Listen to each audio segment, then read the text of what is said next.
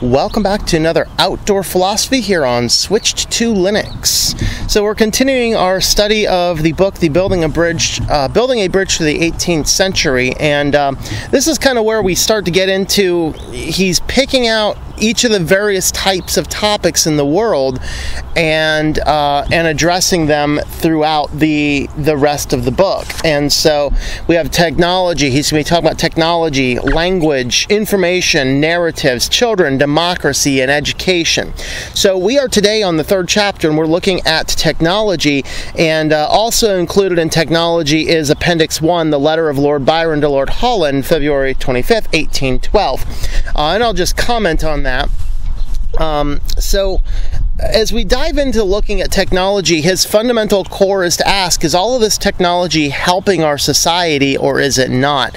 And this is a, a, fascinating question as, as this guy was nearing the end of his life and end of his career when this book was written in 1999, having had an entire career warning people about diving too quickly into technology, and it's a valid point to be asking. Um, as Matthew Arnold warns, and he, he writes this in, in his. Uh, uh, the beginning of this chapter, he warns that faith in machinery is humankind's greatest menace.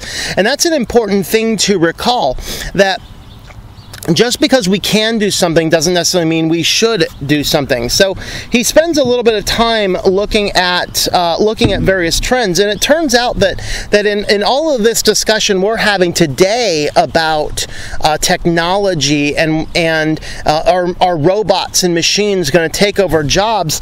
Curiously, this was actually an issue of debate in 1800s, and in 1812 Byron wrote that um, uh, wrote the the letter letter to Lord Holland because what was going on is there was a group of people known as the Luddites, and the Luddites were being replaced by uh, by machinery. So basically, it was a group of people that they would go around. They were kind of like your zealots in the times of uh, in the Roman days. You know, the, the the secret assassins. These Luddites would go around destroying these machines for good reason. That these machines were destroying their jobs, and that raised a central question of debate around around the 1800s as a law was being uh, was being debated that would make it a capital offense to destroy a machine that has taken your job.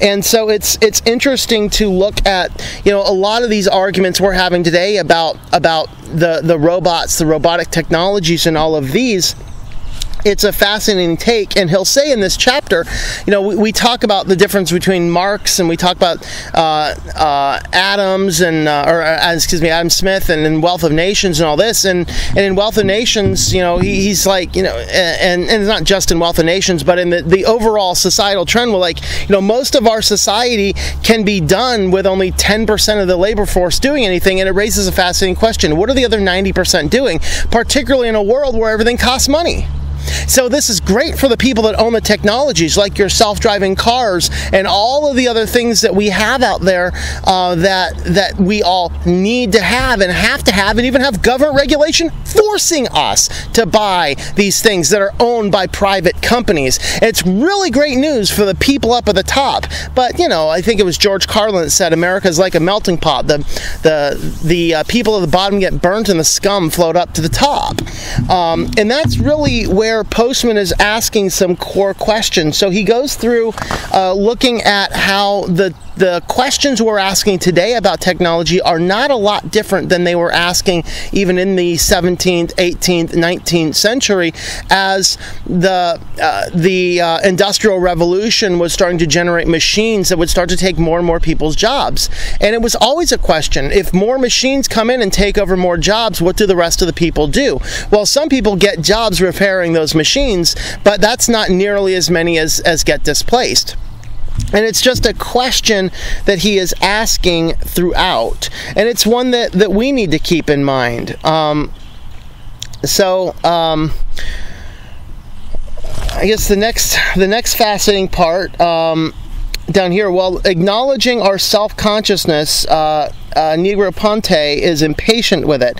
He envisions a time when we speak to a doorknob, a toaster, and predicts that when we do, we'll find the experience no more uncomfortable than talking about a telephone answering machine. He has nothing to say about how we may become different by talking to doorknobs and has no clue about how talking to answering machines is far from comfortable.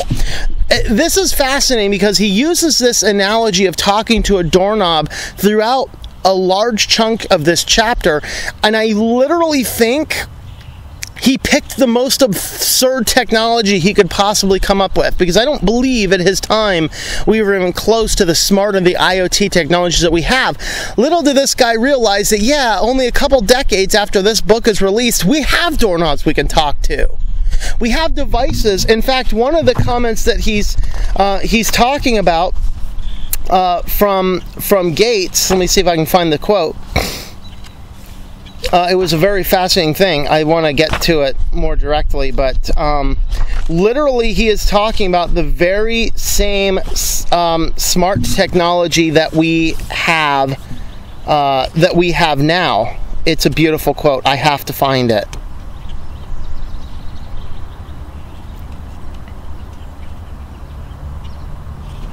Here we are. So I've been told Bill Gates, whose fertile imagination never gives him a moment's rest, dreams of technology or that would make obsolete the task of locating and then sending recordings into action.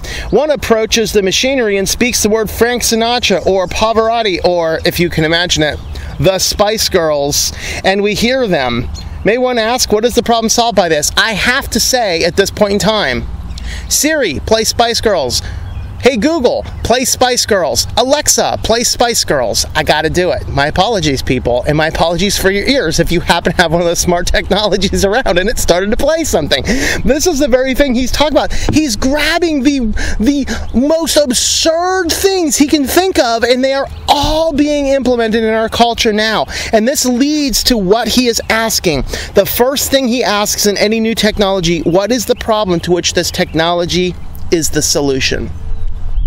And this raises that question are we really asking this question? Are we really diving into this? Are we really asking, is it important for us to actually get in here and realize that yes, we should actually have a problem we're trying to solve? We don't just want to do stuff just for the sake of doing stuff and then sell it to a whole bunch of people who have no other purpose than to buy for really not a lot of good. Is it now, now as he goes in here and he's asking this question, obviously there are people that a doorknob you can talk to is an important thing. A paraplegic is now no longer dependent on a on a person to open the door. He can get near it and say, you know, door open or or enter a passcode verbally or something like that and and enter. Uh, that's a great thing. Uh, for that circumstance. My biggest challenge with the technology is not that we have technology that can do that but that all of that technology that we do that ties into some big company's servers. It's a whole lot better to not have it tied to somebody's server. All right and that's really the the point. So that is the question is whose solution are we trying to do? He asks another question about the technology we implement. Which people and in what institutions might be seriously harmed by a technological solution? Realize that there is a lot of harm that can be done by technology. Now at this point he goes through a discussion looking at teachers and education.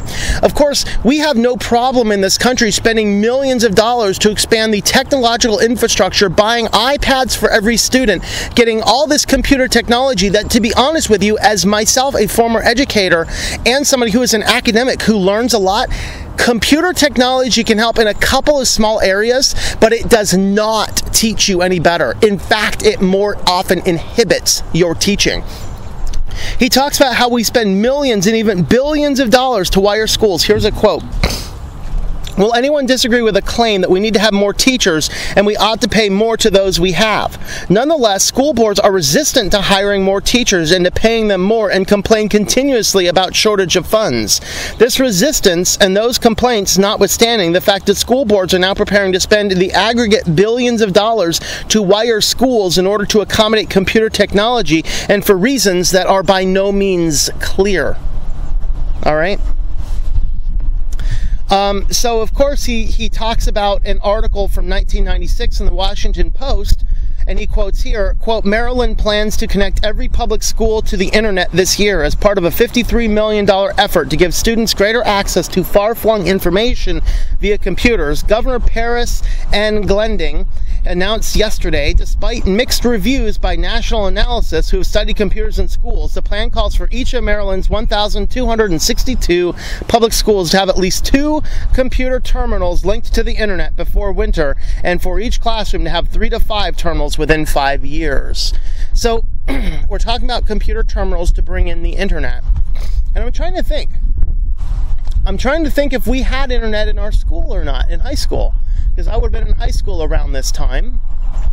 And I don't recall. In fact, I'm guessing we probably didn't. Be, otherwise, in even going to the library for our study halls, we probably would have been on the internet looking around at things rather than uh, playing around with paint on the Macintosh. That's my guess. Now, I do recall one computer course in um, in my senior year of high school, I think, we actually did have the internet. I do distinctly remember going to excite.com in a computer class in um, in high school. I think we had one computer lab with like 20 computers that could get on the internet. I think that was the extent of what we happened to have. So this raises that question that Postman's asking, going back to those Luddites and the people getting violent because their jobs are being replaced by machines. Our teachers are getting replaced by the internet, and it's not helping our students learn. And we're going to get into that a little bit further down the line. Um, he asks another question about technology.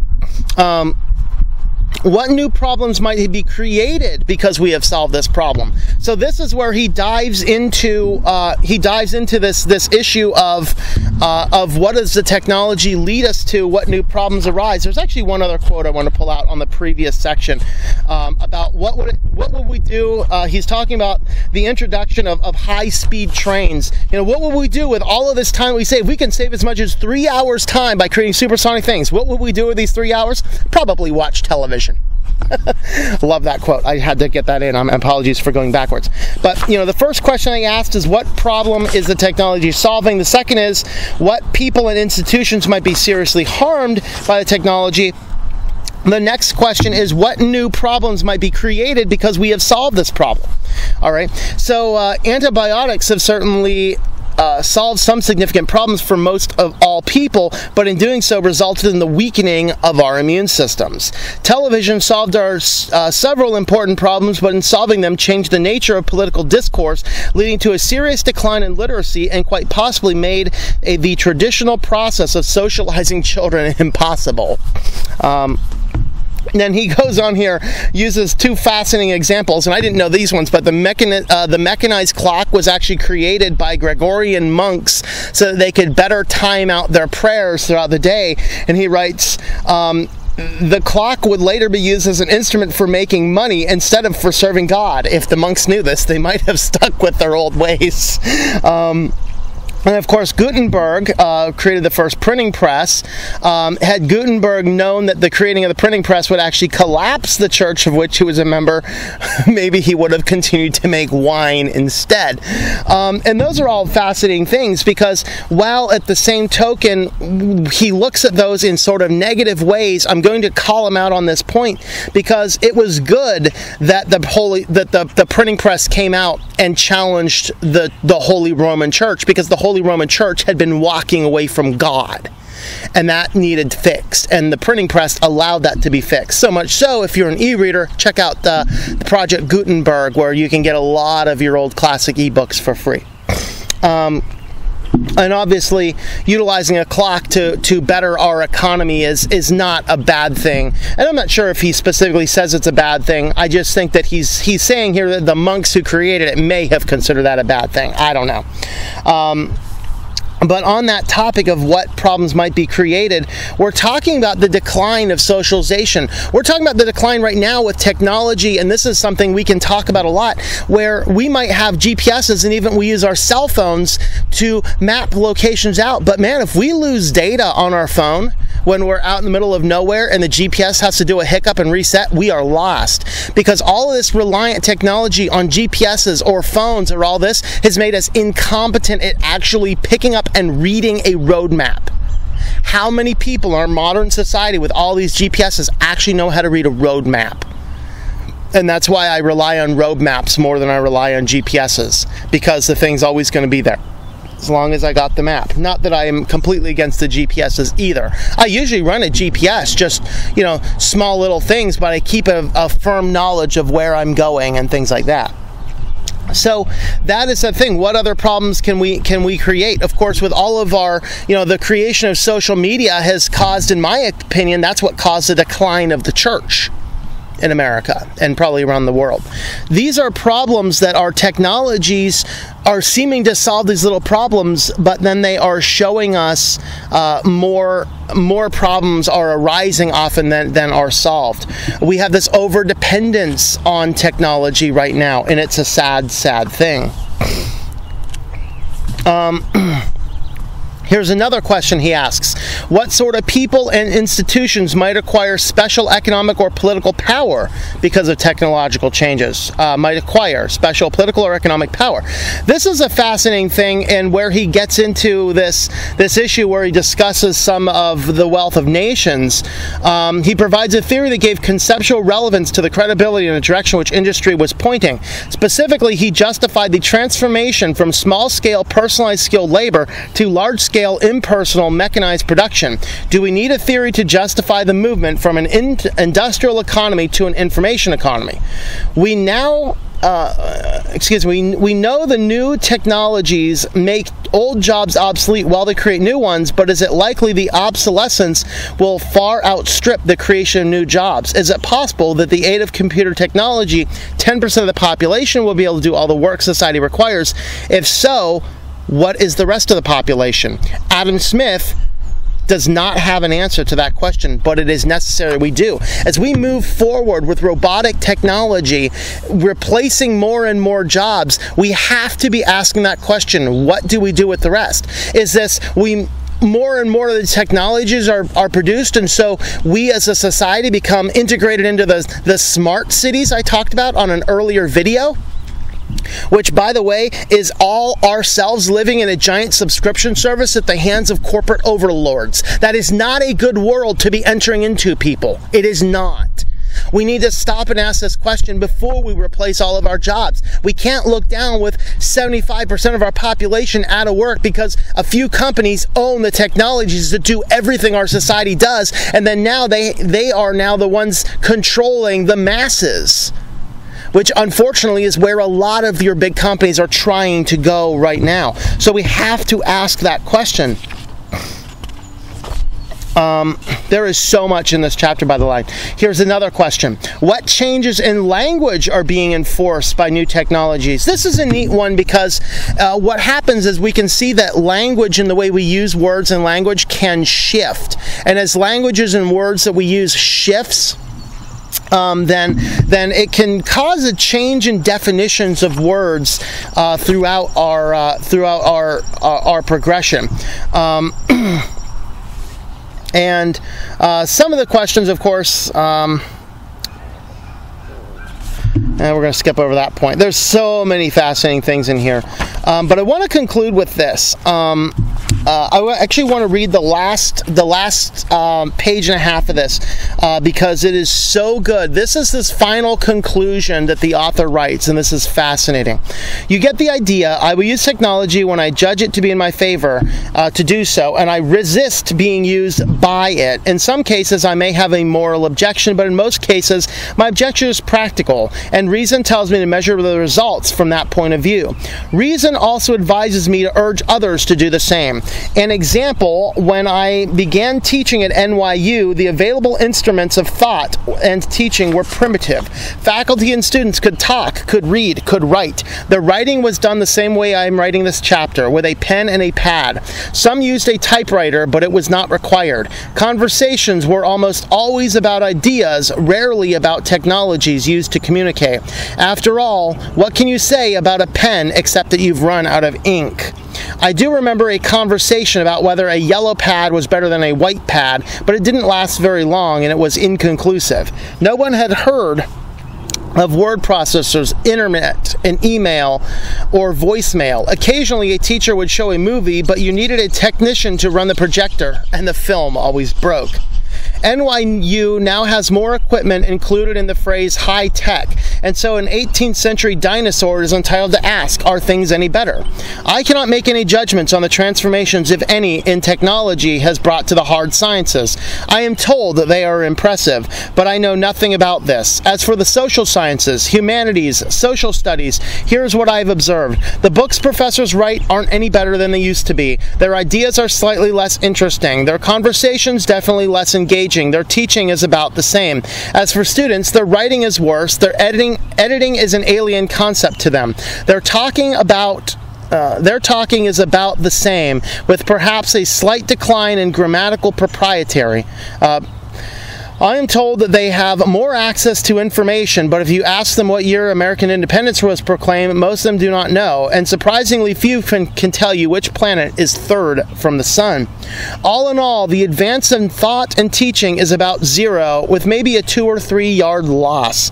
It gives me no special pleasure to report these observations because my university spends huge sums of money on high tech equipment. Strangely, many professors seem to prefer that money be spent on technology instead of on salary increases.